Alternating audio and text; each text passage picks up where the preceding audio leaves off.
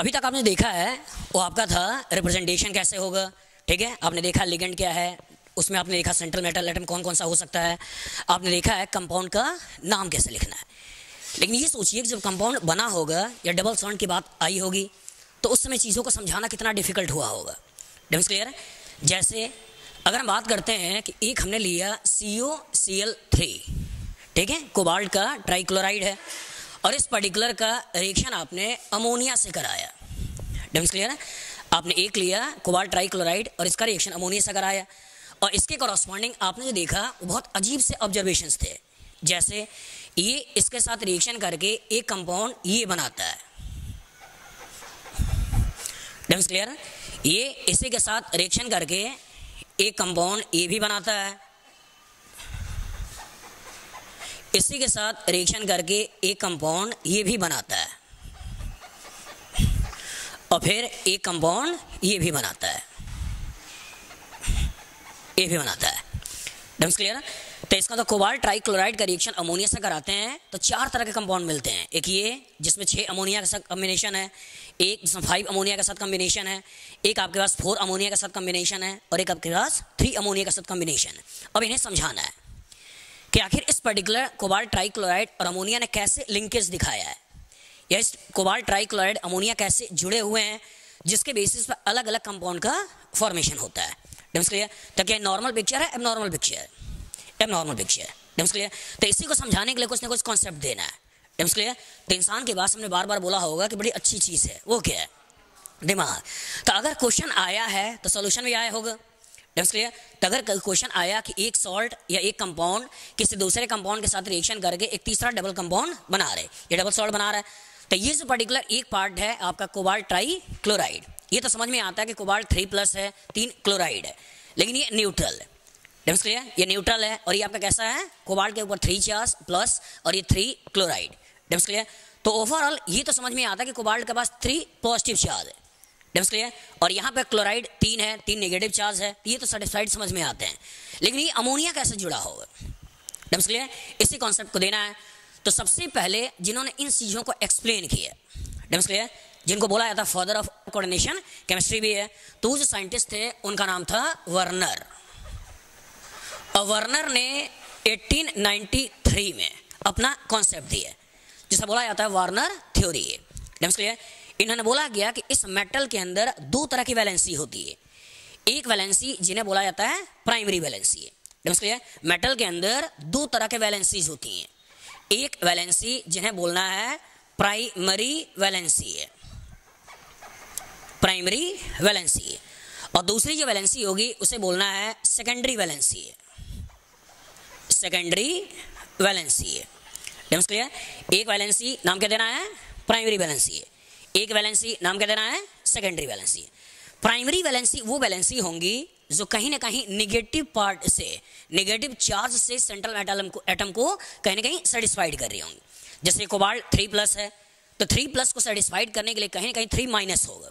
DIMMs clear तो वही जो थ्री माइनस है, वो थ्री माइनस कौन सा है? प्राइमरी बैलेंसी डेम्स क्लियर सेकेंडरी बैलेंसी की बात करते हैं तो सेकेंडरी बैलेंसी आपका न्यूट्रल भी हो सकती है. सेकेंडरी वैलेंसी आपका आयनिक भी हो सकती हैं।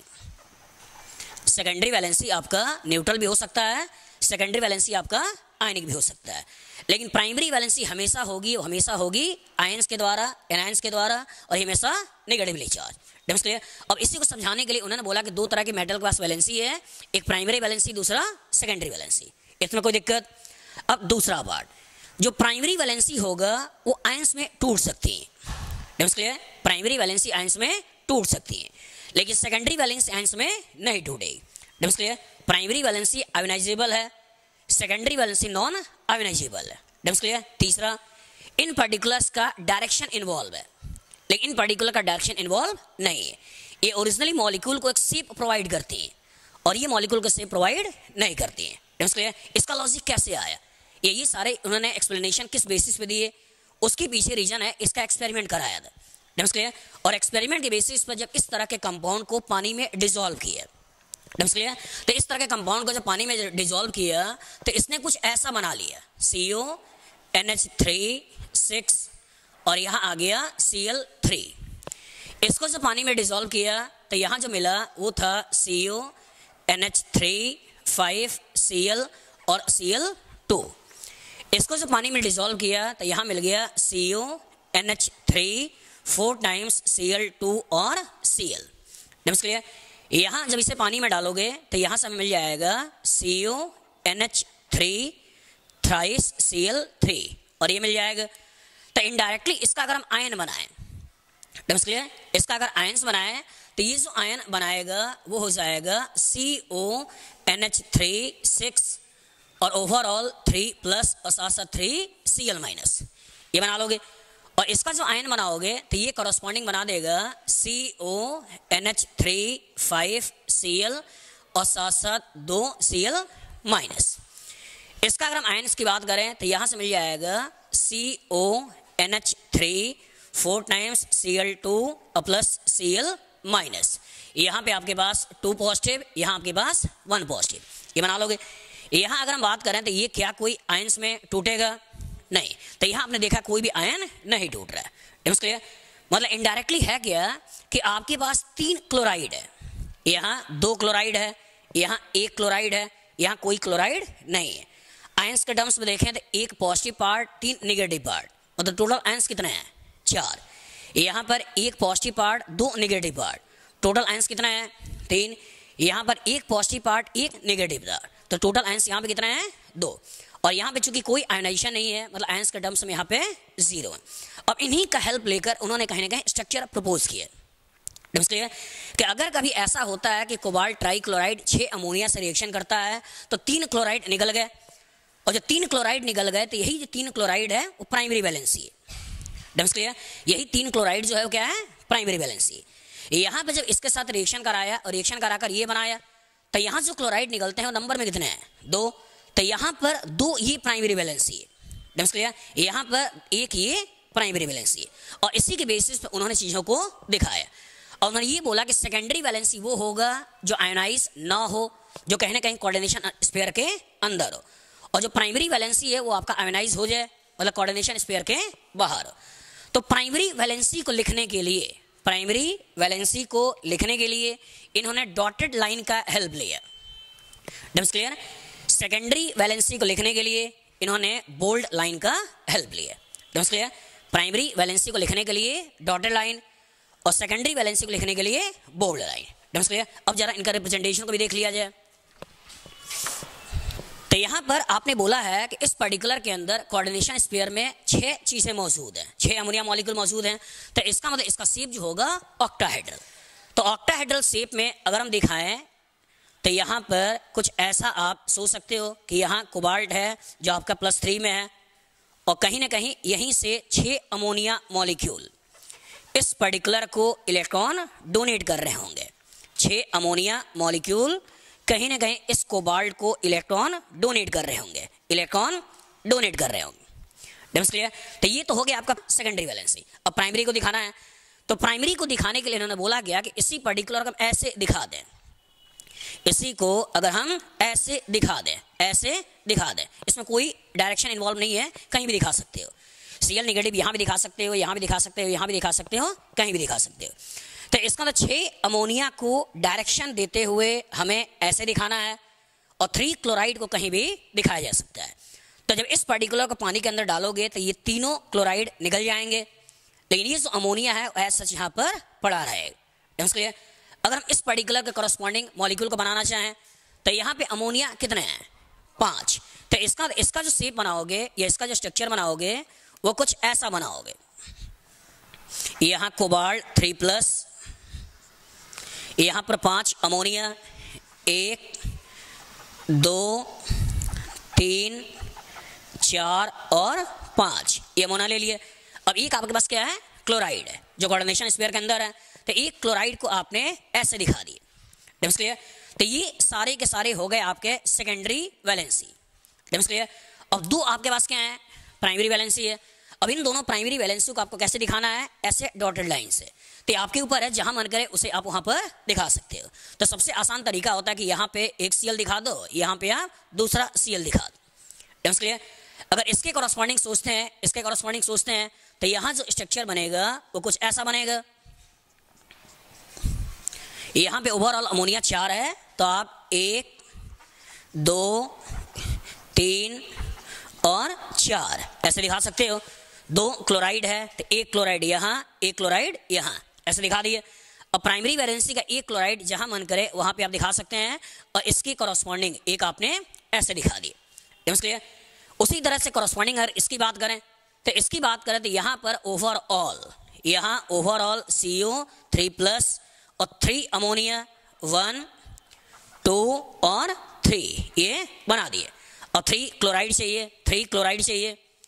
तो थ्री क्लोराइड चाहिए और तीनों क्लोराइड अंदर चाहिए। तो आप इसको ऐसे ऐसे दिखा दें। अब यहाँ थोड़ा केयरफुल रहना है। यहाँ थोड़ा केयरफुल रहना है। कोबाल्ट के ऊपर ओवरऑल चार्ज कितने हैं? तीन।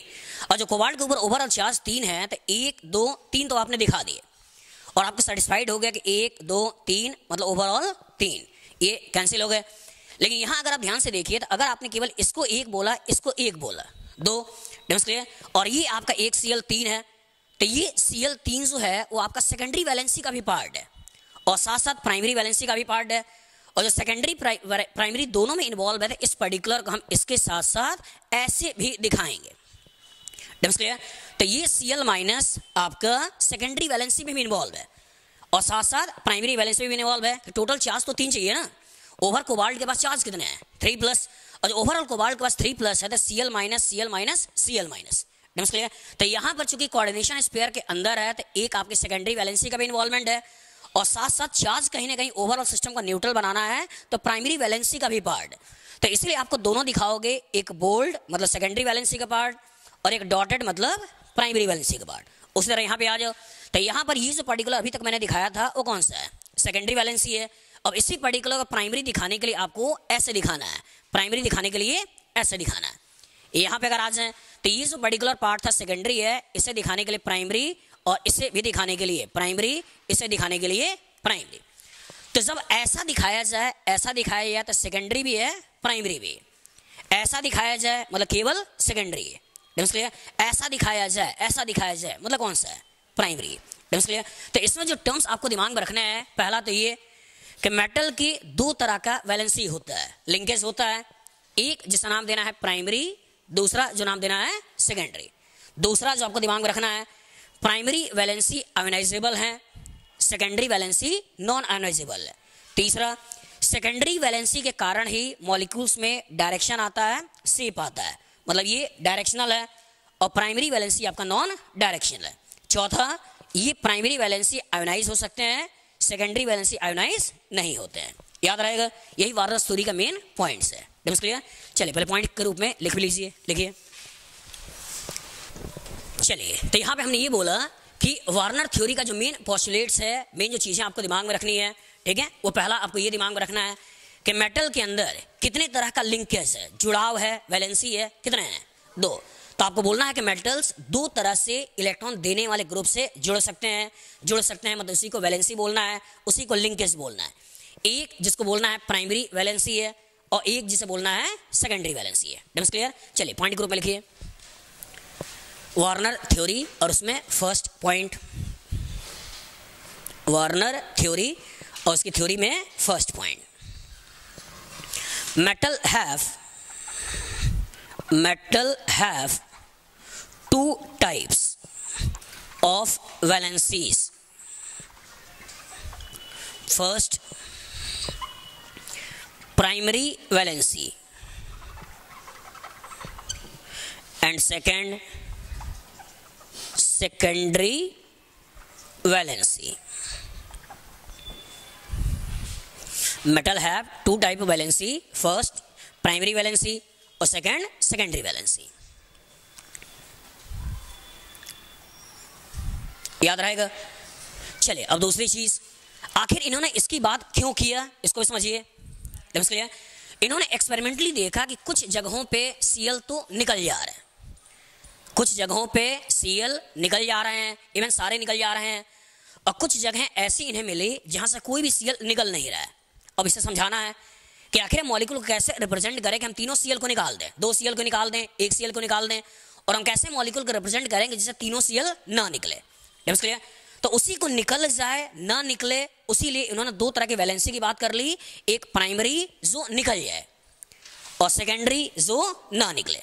क्लियर तो प्राइमरी जो निकल जाए आयंस बना ले तो क्या बोलना है? आयोनाइजेबल तो यही उनका सेकंड पॉइंट था कि प्राइमरी वैलेंसी आयोनाइज हो जाते हैं सेकेंडरी वैलेंसी आयोनाइज नहीं होते हैं। डम्स क्लियर चलिए second point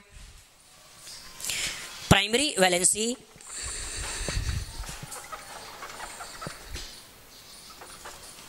are ionizable while secondary valencies are non ionizable primary valency ionizable होती हैं, लेकिन सेकेंडरी वैलेंसी आयोनाइजेबल नहीं होती हैं। याद रहेगा, पहला पॉइंट क्या है? हाँ दो तरह के मेटल की वैलेंसी है। क्लियर है पहला पॉइंट दो तरह की मेटल की वैलेंसी है, एक प्राइमरी वैलेंसी, दूसरा सेकेंडरी वैलेंसी। क्लियर दूसरा, प्राइमरी वैलेंसी को हम आयोनाइज कर सकते हैं, सेकेंडरी वैलेंसी आयोनाइज नहीं होती है। क्लियर तीसरा। अब जरा समझिए अब हमें प्राइमरी वैलेंसी को सेकेंडरी वैलेंसी को लिखना है। क्लियर अब हमें प्राइमरी वैलेंसी को सेकेंडरी वैलेंसी को लिखना है कि आखिर हम कैसे दिखाएँ कैसे दिखाएँ कि प्राइमरी वैलेंसी निकल गई और कैसे दिखाएँ कि सेकेंडरी वैलेंसी नहीं निकली। तो इसीलिए उन्होंने दो तरह से रिप्रेजेंटेशन किया एक प्राइमरी वैलेंसी को लिखने के लिए डॉटेड लाइन और सेकेंडरी वैलेंसी को लिखने के लिए bold line clear primary valency को लिखने के लिए डॉटेड लाइन और सेकेंडरी वैलेंसी को लिखने के लिए बोल्ड लाइन याद रहेगा? चलिए, तीसरा point primary valencies are represented by primary valencies are represented by dotted line while secondary valencies are represented by dash line ये इसी को बोल दिया जाता है thick line thick line dash line या थिक लाइन वहाँ क्या बोलोगे? डॉटेड लाइन क्लियर तो यहाँ डॉटेड बोल सकते हो, यहाँ पे डैश बोल सकते हो. क्लियर या थिक बोल सकते हो. तो प्राइमरी वैलेंसी को डॉटेड लाइन सेकेंडरी वैलेंसी को डैश लाइन अब जरा सोचिए। Primary valencies primary valencies ions के रूप में टूट गई। प्राइमरी वैलेंसीज आयंस के रूप में क्या हो गई? टूट गई। और जब ये टूट गई, निकल गई, जब ये निकल गई तो जो बची वो केवल ये है।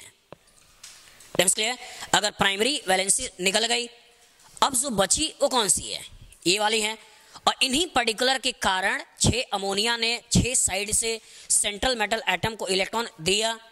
यहाँ पर पाँच अमोनिया ने, एक क्लोराइड ने तीन, चार अमोनिया ने, दो क्लोराइड ने, यहाँ पर तीन अमोनिया ने, तीन क्लोराइड ने कहीं ना कहीं सेंट्रल मेटल एटम को इलेक्ट्रॉन दिया है। और इसी के देने की वजह से एक ऑक्टाहेड्रल शेप ज्योमेट्री क्रिएट हो रही है। और अगर इन्हीं के देने से एक शेप क्रिएट हो रहा है तो क्या इनका देना डायरेक्शनल है या नहीं है? है? तो ही आपको बोलना है कि जो सेकेंडरी वैलेंसीज हैं, वो सेकेंडरी वैलेंसी डायरेक्शनल है। लेकिन प्राइमरी वैलेंसीज जो हैं, ये आपका डायरेक्शनल नहीं है। ये इवन क्लोराइड को यहाँ भी दिखा सकते हैं क्लोराइड को यहाँ भी दिखा सकते हैं क्लोराइड को यहाँ भी दिखा सकते हैं। तो नेक्स्ट और चौथा जो आपको दिमाग में रखना है, वो ये है कि प्राइमरी वैलेंसीज नॉन डायरेक्शनल है, लेकिन सेकेंडरी वैलेंसीज आपकी डायरेक्शनल है। याद रहेगा? चले next point primary are primary primary valencies are non-directional. While secondary valencies are directional. इतनी ही चीज़ें आपको दिमाग में बैठानी है। जो अवेयरनेस के मेन कॉन्सेप्ट में आता है। चलिए, एक बार फिर से हम रिकैप करा दें। पहला पॉइंट दिमाग में क्या रखना है? मेटल की दो तरह की वैलेंसी है लिंकेज है, पहला प्राइमरी दूसरा सेकेंडरी दूसरा जो पॉइंट था, वो क्या है? प्राइमरी वैलेंसीज आर आयोनाइजेबल और सेकेंडरी वैलेंसी नॉन आयोनाइजेबल मतलब आयंस के रूप में टूटने के बारे में बात करता है। तीसरा primary valencies are represented by dotted line और secondary valencies are represented by dash line clear next कौन सा है? हाँ primary valencies are non directional while secondary valencies are directional और लास्ट इसको भी डाल सकते हो? प्राइमरी वैलेंसी हमेशा जिसके द्वारा सेटिस्फाइड होता है, वो क्या है? नेगेटिव चार्ज है। डेम्स क्लियर लिगेंड तो है ये लिगेंड टर्म बाद में आया था। लेकिन पहले जो टर्म्स आया था, वो है कि नेगेटिव चार्ज या न्यूट्रल और एनायन तो प्राइमरी वैलेंसी को सर्टिफाइड करने के लिए हमेशा एनायन सोचना है। नेगेटिव आयन सोचना है। लेकिन सेकेंडरी वैलेंसी को सेटिस्फाइड करने के लिए न्यूट्रल भी हो सकते हैं एनायन भी हो सकते हैं। जैसे यहाँ पे ये जो पर्टिकुलर आपके सेकेंडरी वैलेंसी को सेटिस्फाइड करने वाले हैं, वो कौन से हैं? न्यूट्रल है। यहाँ पे जो सेकेंडरी वैलेंसी को सेटिस्फाइड करने वाले हैं, वो न्यूट्रल भी है साथ साथ एनायन भी है। कहीं कहीं ऐसा भी आ सकता है, केवल एनायन हो। क्लियर तो इंपॉर्टेंट ये था कि सेकेंडरी वैलेंसीज में आपके न्यूट्रल मॉलिक्यूल भी आएँगे साथ साथ एनायन भी आए। और अगर थोड़ा सा और एक्सटेंड कर लें वार्नर को थोड़ा सा और आगे बढ़ा दें क्लियर तो इवन कटाइन भी हो सकता है। डेम्स क्लियर लेकिन जो वार्नर के समय में जब कॉन्सेप्ट आया था, उस समय कटाइन की बात नहीं आई थी। लेकिन फ्यूचर में आगे जो डेवलपमेंट हुआ तो डेवलपमेंट देखा गया, बहुत सारे कैटाइन भी हैं, वो इलेक्ट्रॉन को देते हैं।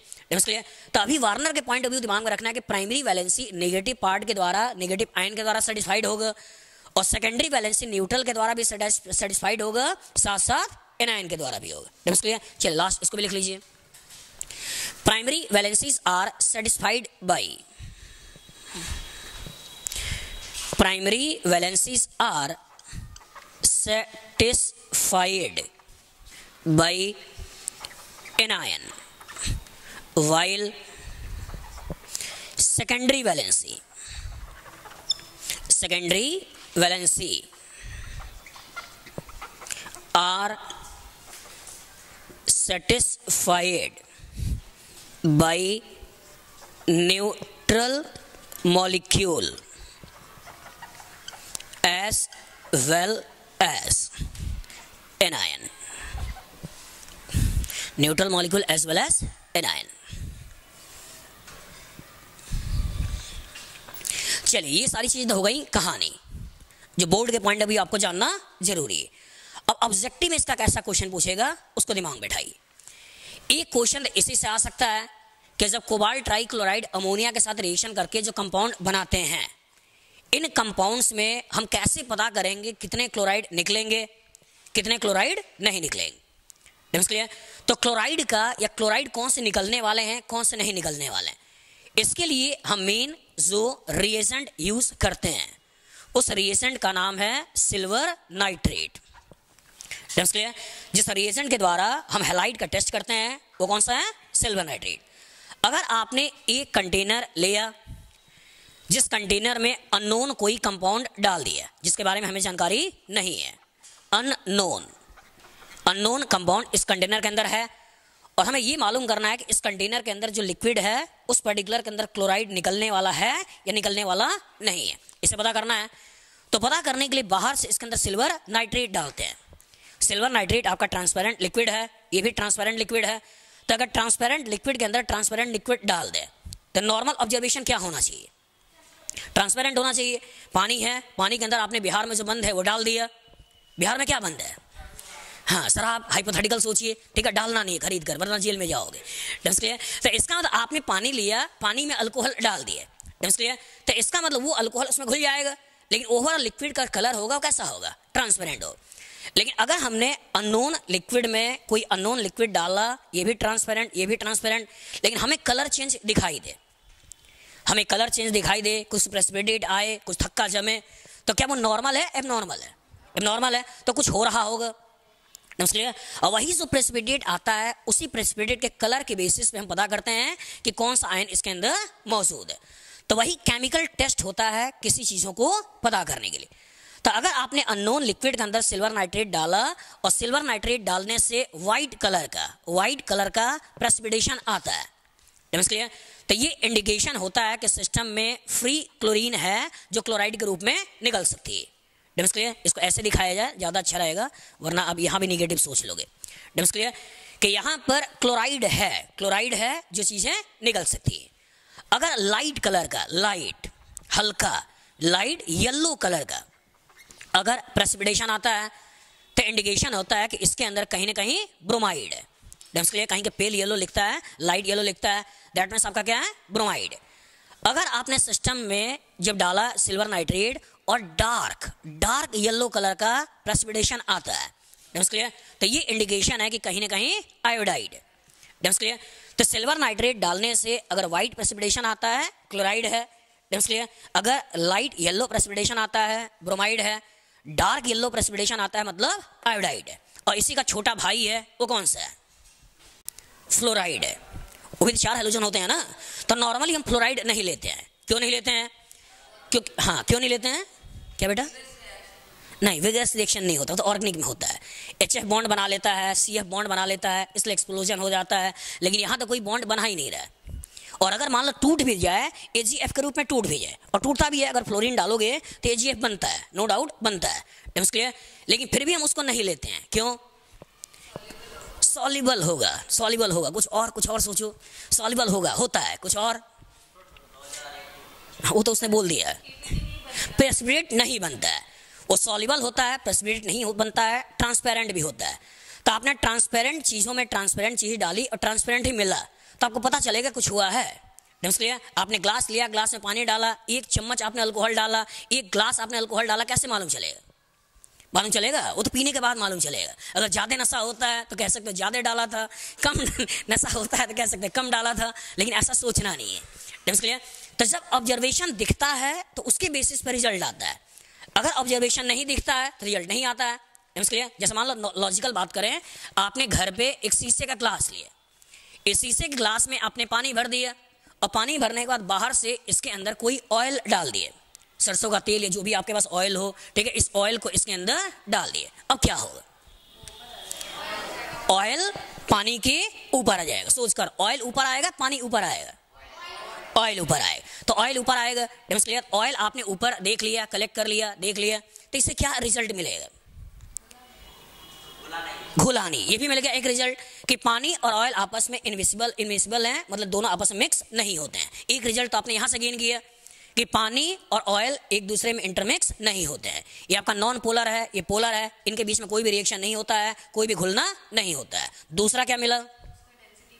गुड ऑयल की डेंसिटी कम है, इसीलिए कहीं ना कहीं ऊपर तैर रहा है, पानी की डेंसिटी ज़्यादा है, इसका मतलब नीचे तैर रहा है। इसलिए एक साल एयर ट्रिपल e ने बड़ा मज़ेदार क्वेश्चन पूछा था, इसी के बेसिस पे। उसने क्या पूछा था? साइक्लोहेक्सेन ये आपका साइक्लोहेक्सेन होता है। ये साइक्लोहेक्सेन ओरिजिनली चेयर और बूट फॉर्म में पाया जाता है। इस पर्टिकुलर को बोलते हैं चेयर फॉर्म है और इस पर्टिकुलर को बोलते हैं बोट फॉर्म है। इस पर्टिकुलर क्या बोलते हैं? बोट फॉर्म है। क्लियर बोट फॉर्म थोड़ा कम स्टेबल होता है चेयर फॉर्म थोड़ा ज़्यादा स्टेबल होता है और अपनी पढ़ाएँगे। क्लियर तो आई ने ए ट्रिपल e ने ए ट्रिपल e ने एक बहुत अच्छा क्वेश्चन पूछा, वो कैसे पूछा? कि साइक्लोहेक्सेन पानी के अंदर जब डाला जाता है तो तैरता है। क्यों? क्योंकि बोट फॉर्म में होता है। तो क्या इस बोट का, इस बोट का पानी में तैरने से कोई लिंक है? नहीं है। ये इसलिए तैरता है कि इसकी डेंसिटी कम है क्लियर तो उसने सोचो कितना मज़ेदार क्वेश्चन इस बोट को और किस बोट से जोड़ दिए। क्लियर तो इनडायरेक्टली ये बोट रीजन नहीं है तैरने का। क्लियर बोट तो इसका फॉर्म है बोट जैसा दिखता है इसलिए बोल दिया कंफर्मेशन ऑफ़ साइक्लो एक्शन ऐसा होता है। लेकिन अगर साइक्लो एक्सन पानी में तैरता है तो रीजन क्या है? डेंसिटी है। इसकी डेंसिटी कम होती है इसकी डेंसिटी ज़्यादा होती है। जैसे आपको पानी में डाला जाए तो क्या होगा? हाँ, डूब जाओगे तो आपकी डेंसिटी क्या है? लेकिन तैरते भी तो लोग हैं। तो उस केस में क्या होता है? डेंसिटी अचानक कम हो जाती है। हाँ तब क्या होता है? हाँ वो फोर्स लगाते हैं फिर तैरते हैं। इनडायरेक्टली वो टेक्निक सीखते हैं। लेकिन नॉर्मल बेसिस पे क्या है? अगर आपने पानी में अपनी बॉडी को डाला दैट मीन्स होगा क्या? डूब जाएगा। तो सोचिए गॉड ने इंसान को बनाया और जानवरों को बनाया तो जानवरों को कितनी अच्छी अच्छी चीज़ें दिया है और इंसान को कितना खराब खराब चीज़ें दिया है। इंसानों को और जानवरों में देखिए, भैंस, गाय, ठीक है, शेर चित्ता कुत्ता, कुछ भी ले लो। इवन वो पैदा होते हैं, उनके चार दिन बाद उन्हें पानी में फेंक दो, तब भी तैर लेते हैं। क्लियर उन्हें तैरना कोई नहीं सिखाता है। क्लियर चिड़िया हैं, इतनी सारी चिड़िया हैं, तुरंत मतलब पैदा हुई, कुछ समय बाद ही धीरे धीरे उड़ना सीख लेती हैं। लेकिन इंसान को अगर पानी में डाल दो तो होगा क्या? डूब जाएगा। क्लियर इंसान को छत से गिरा दो होगा गया हैप्पी बर्थडे हो जाएगा। तो इसका मतलब इंसान को छत से गिराने से उड़ नहीं सकता है, पानी में गिराने से तैर नहीं सकता है, लेकिन भगवान ने इंसान को बहुत अच्छी चीज़ दी, वो क्या है? दिमाग। नहीं तैरने आता है, ना आए।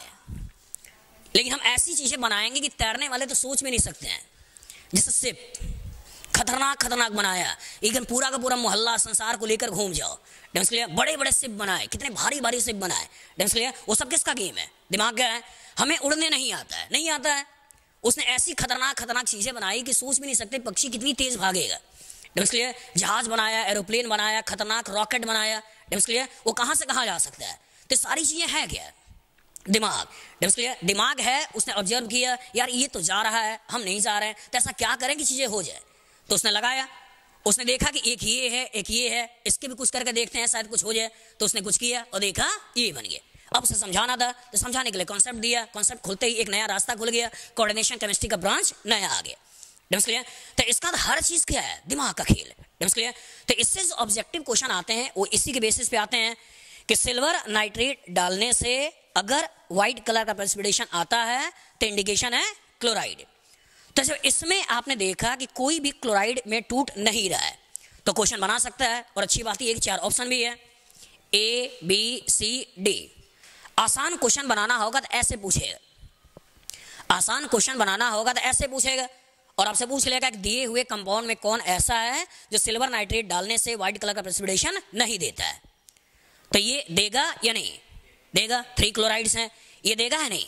देगा। दो क्लोराइड है। ये देगा है नहीं? देगा। एक क्लोराइड है। लेकिन क्या इससे टूटने से कोई भी क्लोराइड है? और जब कोई भी क्लोराइड नहीं है तो ये आपका निगेटिव टेस्ट देगा।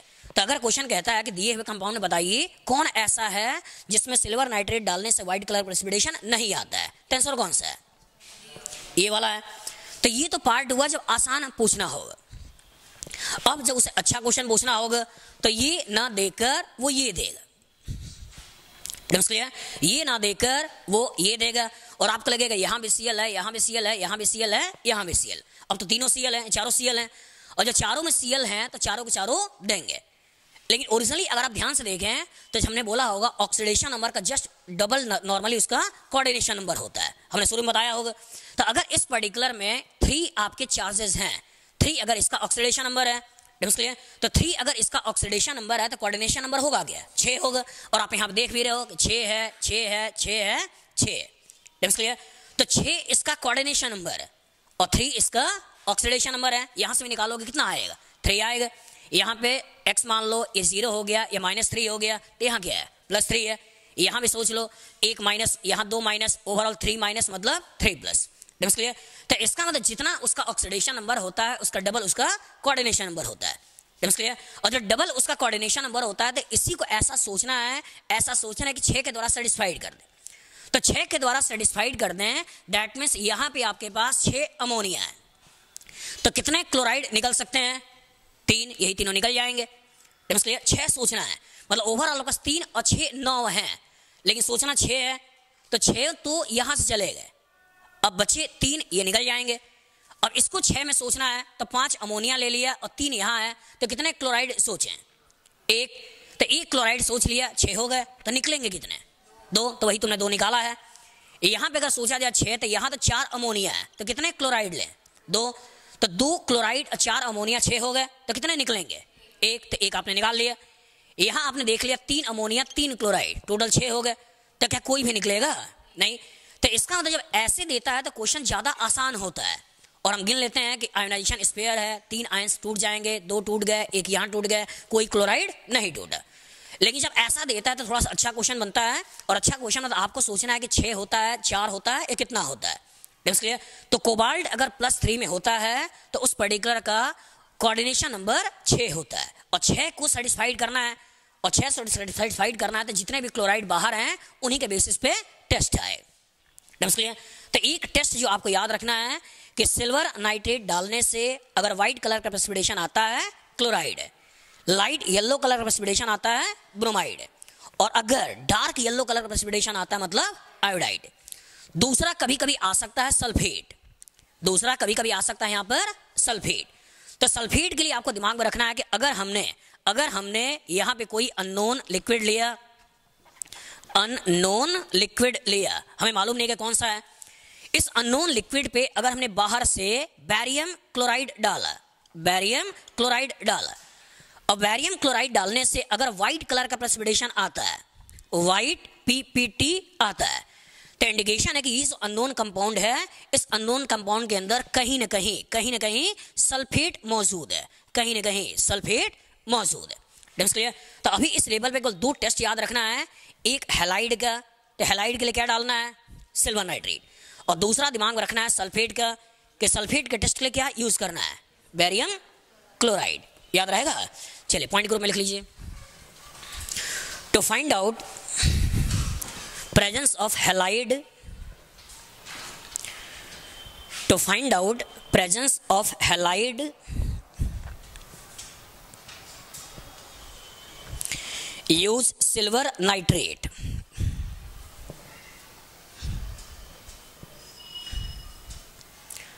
While to find out presence of sulfate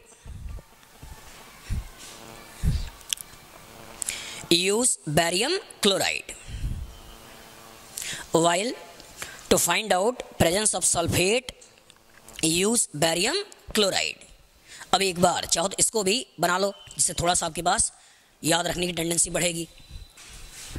तो एक आपने टेस्ट डाला रिएजेंट के थ्रू कि जब सिल्वर नाइट्रेट डाला सिल्वर नाइट्रेट डालने से प्रेसिपिटेशन आता है तो इंडिकेशन है कि ये डिफरेंट हेलाइट्स है।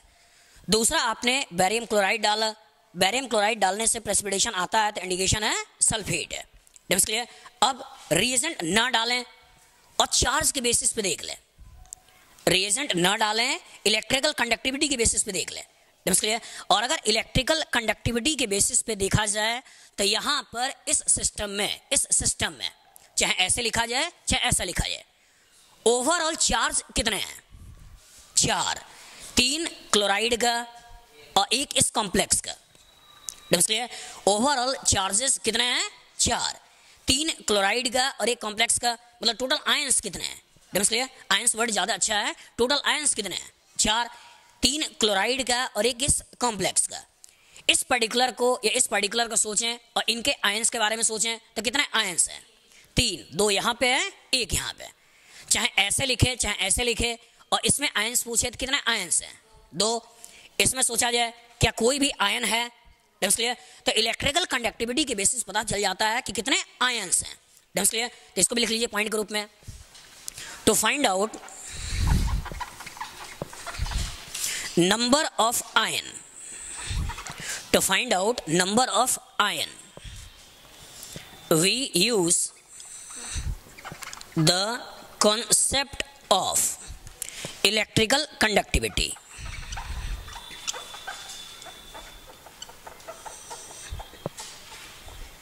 electrical conductivity. To find out number of ions, we use the concept of electrical conductivity.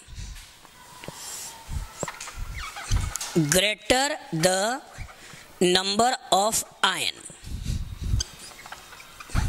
greater the electrical conductivity.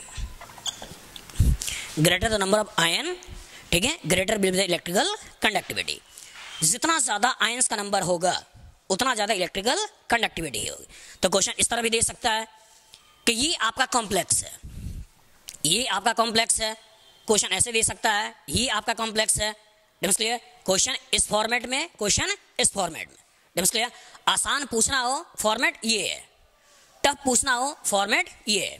Dims clear आसान पूछता हो तो आसानी से दिख जाता है। यहाँ पर तीन है तो यहाँ एक होगा, दो है, एक होगा, एक है, एक होगा, यहाँ कोई नहीं होगा तो आसान पूछता है तो ऐसे दिख जाता है। टफ पूछता है तो कोऑर्डिनेशन नंबर ऑक्सीडेशन नंबर का हेल्प लेना पड़ता है और ये थोड़ा सा रिलेटिवली टफ माना जाता है। क्लियर लेकिन अगर किसी भी तरह से दे तो ओवरऑल यहाँ पे आयंस कितने हैं? चार, यहाँ कितने हैं? तीन, यहाँ कितने हैं? दो, यहाँ कितने हैं? ज़ीरो। मतलब घटाना नहीं है कि चार, तीन, दो, फिर एक। आयंस नहीं है। क्लियर ये आपका न्यूट्रल मॉलिक्यूल और जो न्यूट्रल मॉलिक्यूल है मतलब आपको आयंस के टर्म से बोलना है ज़ीरो है। तो पूछ ले कि ए है, या बी है, या सी है, या डी है, इन चारों में किसका इलेक्ट्रिक कंडक्टिविटी सबसे ज़्यादा होगा? फ़र्स्ट का, फिर सेकंड का। तो ऑप्शन दे सकता है किसका ज़्यादा होगा? ऑप्शन दे सकता है डिक्रीजिंग ऑर्डर में बताइए। ऑप्शन दे सकता है इंक्रीजिंग ऑर्डर में दिखाइए। तो कुछ भी देकर आपसे क्वेश्चन बना सकता है। तो एक क्वेश्चन होता है इलेक्ट्रिकल कंडक्टिविटी के बेसिस पे। एक क्वेश्चन होता है आयंस के बेसिस क्लियर हम प्रेसिपिटेट जो मिला है, उसके वेट की बेसिस पे भी एनालिसिस कर सकते हैं कि सिस्टम के अंदर कितने क्लोराइड निकल रहे होंगे। एजीसीएल का वेट निकाल लिया और वेट के बेसिस पे बता सकते हो कि कितने सीएल उसके अंदर होंगे। तो इससे रिलेटेड अगर कभी क्वेश्चन आ जाए, लगा लोगे? इससे भी आ जाए, लगा लोगे? इवन इससे भी आ जाए। अभी तक दिया नहीं है, लेकिन मान लो ऐसे दिखा दे और इससे क्वेश्चन पूछ ले। कि अगर ऐसे दिखाता है, पूछता है कि सिल्वर नाइट्रेट डालने से कितने सीएल बाहर निकलेंगे तो क्या कहोगे? तीन, एक, दो, तीन। ऐसे दिखा दे क्या सिल्वर नाइट्रेट डालने से कितने सीएल निकलेंगे? दो, एक और एक दो। इसको कितने निकलेंगे? एक, ये वाला निकल जाएगा, और इससे कितने निकलेंगे? ज़ीरो।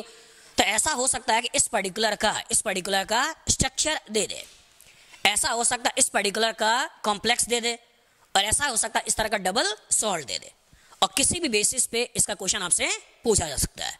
क्लियर तो वार्नर थ्योरी में बस यही मेन पॉइंट्स थे कि प्राइमरी वैलेंसी क्या है सेकेंडरी वैलेंसी क्या है प्राइमरी को लिखना कैसे है सेकेंडरी को लिखना कैसे है, कौन आयंस बना, चले जाते हैं, कौन से आयन में नहीं चाहते हैं, किन के कारण डायरेक्शन आता है, किसके कारण डायरेक्शन नहीं आता है। लेकिन इसके कुछ लिमिटेशन है।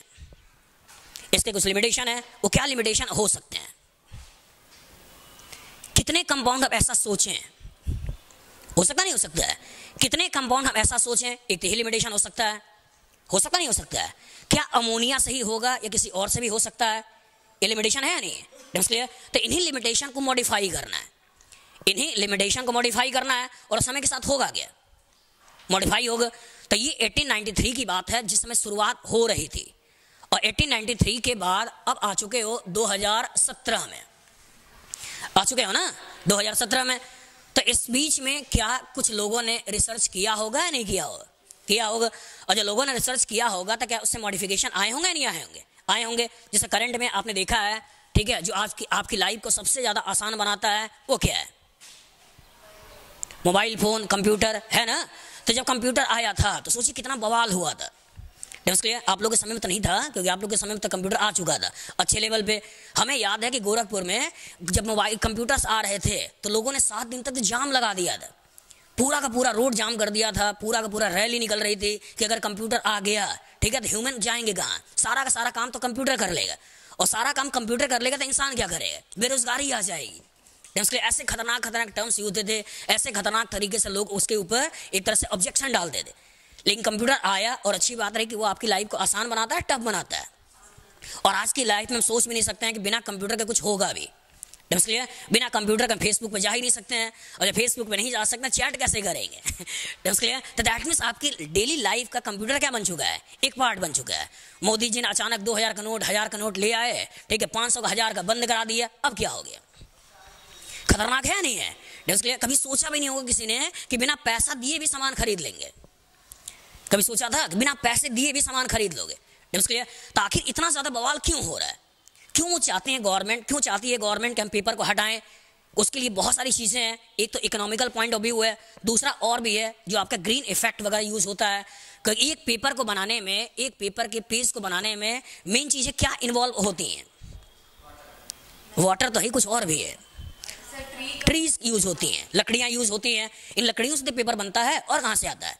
क्लियर तो इसका इस लकड़ियों से पेपर बनता है और हम पेपर्स पे इतना मन से लिखते हैं, कभी खराब वाली कॉपी पे, कभी अच्छी वाली कॉपी पे, कभी आर्ट पेपर पे, कभी ड्राइंग पेपर पे, कितने खतरनाक खतरनाक नाम होते हैं पेपर्स के। उन सब पेपर्स पे लिखते हैं तो इनडायरेक्टली हम करते गए हैं? पेड़ को काट कर चीज़ों को बनाते हैं और उसको यूज़ करते हैं। और जब पेड़ को काट कर आपने चीज़ों को बनाया है तो क्या पेड़ जब संसार से निकल रहा है तो आपकी लाइफ पर उसका अच्छा इफ़ेक्ट आ रहा है, खराब आ रहा है, खराब आ रहा है। अब इसको चेंज करना है। करना नहीं करना अब ज़रूरत महसूस हुई या नहीं हुई? कि कुछ ऐसा किया जाए कि जो इस पेपर को हटाए। इसलिए कुछ ऐसा किया जाए, इस पेपर को हटाए। दूसरा खतरनाक काम क्या होता है? इंसान जब पढ़ता है तो जब तक समझ में आता है, तब तक तो ठीक है। लेकिन जो ही समझ में नहीं आता है तो फिर वो वहीं पर रुक लेता है या थोड़ा बहुत हाइपोथेटिकल पिक्चर बनाकर आगे बढ़ जाता है। और लगातार चार वर्ड्स ऐसे आ जाएँ जो आपको परेशान करे तो फिर कहानी बंद हो जाती है। होती है ना? तो इसीलिए बचपन में जब आपसे कहा जाता था कि ऑक्सफोर्ड की डिक्शनरी भी साथ में रखा करो। जहाँ जहाँ फंसते रहो, वहाँ वहाँ देखते रहो। क्लियर ऐसा होता ना नहीं होता था? लेकिन आजकल इसको भी मॉडिफाई करना है और ऑक्सफोर्ड की डिक्शनरी भी हटाना है। क्लियर तो इसलिए बनाया क्या गया? ई बुक क्या बनाया? ई बुक कि अपने मोबाइल्स वगैरह में, अपने लैपटॉप वगैरह में कंप्यूटर्स वगैरह में कहीं भी इसको डाउनलोड कर लो। क्लियर और डाउनलोड कर लो मोटी मोटी किताबों को आप सिंपल अपने मोबाइल में लेकर जा सकते हो। और जब कहीं वर्ड्स पे किसी में फंस जाइए, किसी भी वर्ड्स पे फंस जाइए तो इसी वर्ड को आप हाथ से उंगली से दबाइए इसलिए और दबाने से तुरंत डिक्शनरी खुल जाएगा और जो देखना हो देख लीजिए। देखने के बाद मतलब समझ में आ जाए, आगे बढ़ जाइए। तो क्या इंसान को ज़रूरत हुई तो क्या इंसान ने कुछ बनाया या नहीं बनाया? बनाया। आपकी ज़रूरत थी मोबाइल, आपकी ज़रूरत थी आपकी ज़रूरत थी कंप्यूटर। तो मोबाइल, कंप्यूटर आते ही साथ में क्या आ गया? चार्जर। और चार्जर आते ही क्या आ गया? वायर। और वायर आपकी ज़रूरत नहीं है। और जब वायर आपकी ज़रूरत नहीं है, चार्जर आपकी ज़रूरत नहीं है, लेकिन वो आ गया। क्लियर तो आ गया तो कहीं ना कहीं सोसाइटी को कहीं ना कहीं वो इसी इकोसिस्टम में आ रहा है, नहीं आ रहा है। और इसी इकोसिस्टम में आ रहा है कोई भी बैक्टीरिया वायरस नहीं है जो उस पर्टिकुलर चार्जर को ख़त्म करे क्लियर तो कहीं ना कहीं आपकी सोसाइटी को एक तरह से क्या कर रहा है? ख़राब कर रहा है। तो पॉलीथीन आपकी ज़रूरत थी, आपने बना लिया, लेकिन भगवान ने नहीं बनाया तो कोई सड़ाने गलाने वाला चीज़ भी नहीं बनाया। और जब उसमें कोई सड़ाने गलाने वाला चीज़ नहीं बनाया तो इनडायरेक्टली उस सिस्टम में आ गया।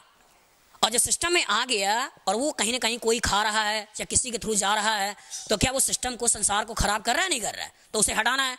इसलिए तो वही सारे के सारे रिसर्च होते हैं कि अगर कोई आ रहा है तो इसको कैसे मॉडिफाई करे? तो इसलिए आगे बायोडिग्रेडेबल पॉलीमर चार्जर चार्जर आगे आजकल आपने देखा होगा कि केवल मोबाइल रख दो तो चार्ज हो जाते हैं। इसलिए आपकी ज़रूरत है, ये प्रोजेक्टर प्रोजेक्टर ज़रूरत है, लेकिन मजबूरी ये है वायर इसलिए आपकी ज़रूरत है टीवी, केबल, बड़े स्क्रीन पे देखना है, लेकिन मजबूरी क्या है? वायर तो वायर मजबूरी है तो उसी को हटाया, और हटाया और क्या किया? स्क्रीन मिररिंग कर दी कि मोबाइल आप वहाँ पे देख रहे हो और स्क्रीन मिररिंग से डायरेक्ट प्रोजेक्टर से चीज़ों को हाईलाइट कर लो। आपकी ज़रूरत है इंटरनेट, लेकिन मजबूरी अगेन केबल। क्लियर तो उसको लोगों ने मॉडिफाई किया। कैसे मॉडिफाई किया? वाईफाई के थ्रू। डेम्स क्लियर तो चीज़ें धीरे धीरे हो क्या रही हैं? समय के साथ, समय के साथ एक्सटेंड हो रही या नहीं हो रही? डेम्स क्लियर तो वही पहला जो कॉन्सेप्ट आया वार्नर दिया, जो आपने 1893 में आया। अब इसको मॉडिफाई करना है। तो इसके बाद के जो लोग आए होंगे, उन्होंने कहीं ना कहीं इसी पर्टिकुलर कॉन्सेप्ट को क्या किया हो? मॉडिफाई किया हो। और उसी में एक नाम आता है वैलेंस बॉन्ड थ्योरी जिसको मॉडिफाई किया था पॉलिंग ने। तो पॉलिंग इसके बाद आए, और उन्होंने वार्नर्स को मॉडिफाई किया। और वार्नर्स को मॉडिफाई करके बैलेंस बॉन्ड थ्योरी का कॉन्सेप्ट देकर, उन्हें कहीं ना कहीं प्रॉपर तरीके से सेप को समझाया। प्रॉपर तरीके से कहीं ना कहीं हाइब्रिडेशन का हेल्प लेकर उन्होंने बताया कि सेप कैसा हो सकता है, कितना उसका मैग्नेटिक मूवमेंट हो सकता है और उस तरह की प्रॉपर्टीज़ को एक्सप्लेन किया। वहाँ कुछ वायलेशन आई और जब वहाँ कुछ वॉल्यूशन आया तो उस पर्टिकुलर को मॉडिफाई किया गया। एक नया कॉन्सेप्ट आया और नया कॉन्सेप्ट आया क्रिस्टल फ़ील्ड थ्योरी क्लियर तो सब समय के साथ धीरे धीरे होगा गया। एक्सटेंड होगा और आपका नॉलेज लेवल होगा गया। बढ़ेगा। क्लियर तो वही आपने पहला ऐतिहासिक चीज़ें पढ़ी है। ऐतिहासिक है ना? तो पहला आपने ऐतिहासिक चीज़ें पढ़ा, वो क्या है? वार्नर थ्योरी अब नेक्स्ट क्लास में आप पढ़ोगे वैलेंस बॉन्ड थ्योरी याद रहेगा? चलिए क्लास कहीं पे छोड़ते हैं और नेक्स्ट क्लास में चालू करेंगे वैलेंस बॉन्ड क्लियर है ना?